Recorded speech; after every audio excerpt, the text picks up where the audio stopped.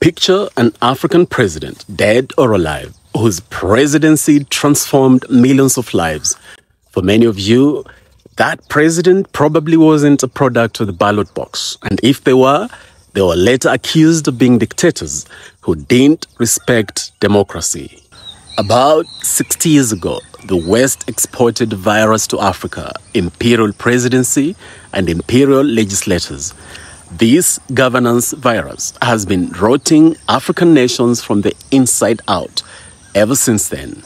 In 2011, during Abdoulaye Wade's presidency in Senegal, his son Karim, as energy minister, handed out questionable oil and gas licenses to Petrotim, a company tied to Frank Timis, the controversial entrepreneur.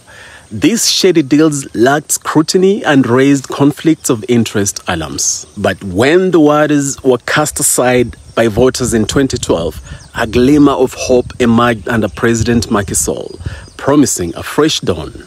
But alas, these hopes staggered, stumbled, and met an untimely demise. Macky Sall's brother Aliou partnered with Timis, the same shady entrepreneur, and allowed him to keep control of the energy projects.